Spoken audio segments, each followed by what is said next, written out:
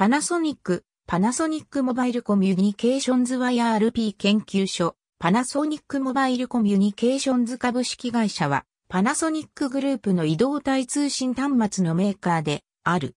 パナソニックグループ内や周辺地域では PMC の略称で呼ばれている。パナソニック本体の社内カンパニーであるコネクティッドソリューションズ社配下に置かれる子会社である。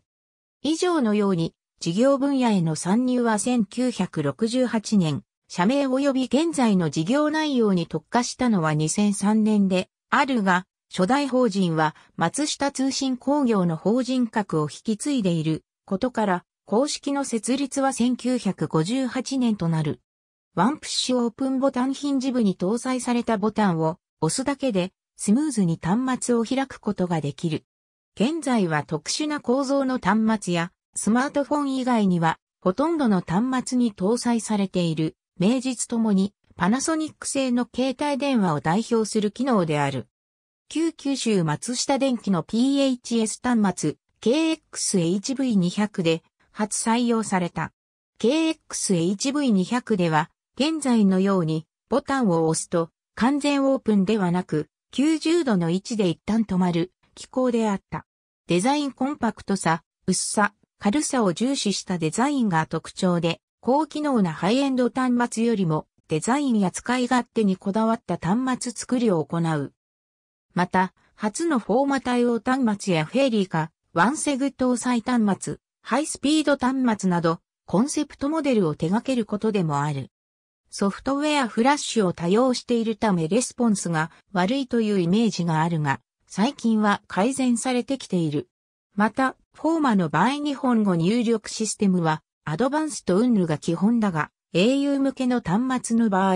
KCP 搭載機種を除きソフトウェアが、カシオ日立モバイルコミュニケーションズ製なのでそれに準じて、ATOC が採用されている。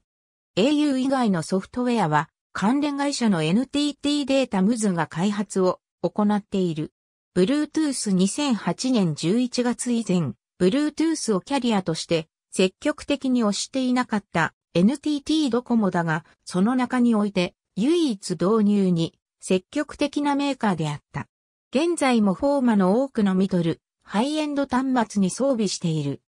ニコタッチ方式文字入力方式として、独自のニタッチ入力方式であるニコタッチ方式があり、現在はスマートフォン、NTT ドコモ向け端末の一部、au 向け端末及びソフトバンクモバイル端末の一部以外のほとんどの機種に搭載されている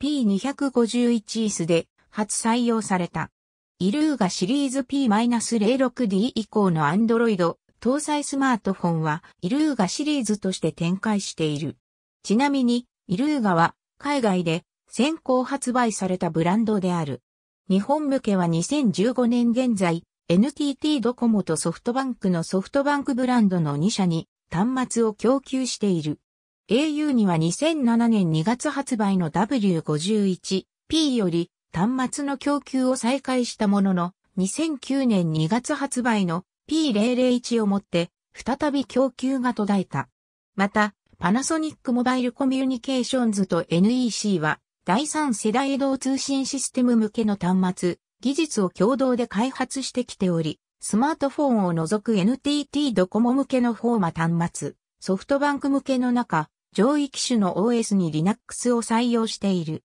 ちなみに折りたたみ型携帯電話が主流になる前はパナソニックが携帯電話シェア率1位であったが、折りたたみ型携帯電話が主流になると携帯電話シェア率を NEC に譲ることになった。2006年3月の調査では再び、携帯電話シェア率が1位に返り咲いた。しかし、2006年上半期の調査では、シャープに携帯電話シェア率1位を明け渡すこととなった。スマートフォンのイルーガシリーズについては、当該項目を参照。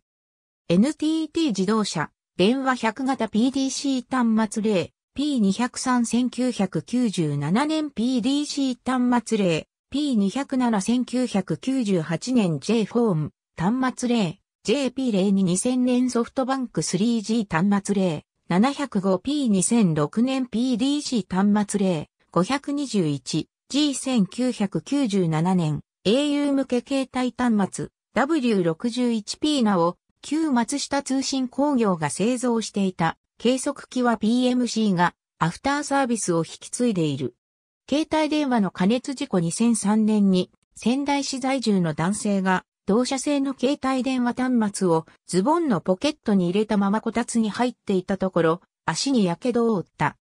男性は携帯電話の加熱が原因で製品に欠陥があったとして同社を相手取り仙台地裁に訴訟を起こした。一審は訴えを棄却したが、二審の仙台高裁は異常発熱が原因であり、安全性に問題があったとして、一審判決を変更し、原告に約221万円の支払いを命じた。2011年10月に最高裁は、同社の上告を棄却し、原告勝訴が確定した。ABC パナソニックモバイルコミュニケーションズ株式会社第6期決算広告モバイル松下と NEC、携帯電話端末開発で提携、焦点はソフトウェア、携帯電話端末事業に集中特化した新会社、パナソニックモバイルコミュニケーションズ株式会社を設立、パナソニック株式会社、http コロンスラッシュスラッシュパナソニック .co.jp スラッシュ corp スラッシュニューススラッシュオフィシャルドットデータスラッシュデータドット dir スラッシュ2013スラッシュ04スラッシュ JN130401 ダッシュ2スラッシュ JN130401 ダッシュ2ドット HTML2013 年4月1日閲覧パナソニックモバイル国内スマホ事業を休止から携帯ウォッチ2013年9月26日、二軸回転型やスライド型など。前者は富士通の回 -2D に搭載され、後者も三菱電機製の携帯電話に同名のボタンが搭載されていた。松下、海外に 5G 端末から撤退 3G に集中、Linux に統一イラガートムを欧州市場に投入。パナソニックモバイル、欧州のスマホ事業から撤退へ。携帯ウォッチ、http コロンスラッシュスラッシュ k-tai.impress.co.jp スラッシュ docs スラッシュニューススラッシュ201210311516万9844 HTML2012 年11月1日閲覧携帯電話やけど訴訟メーカー側の配送確定読売新聞2011年10月29日。ありがとうございます。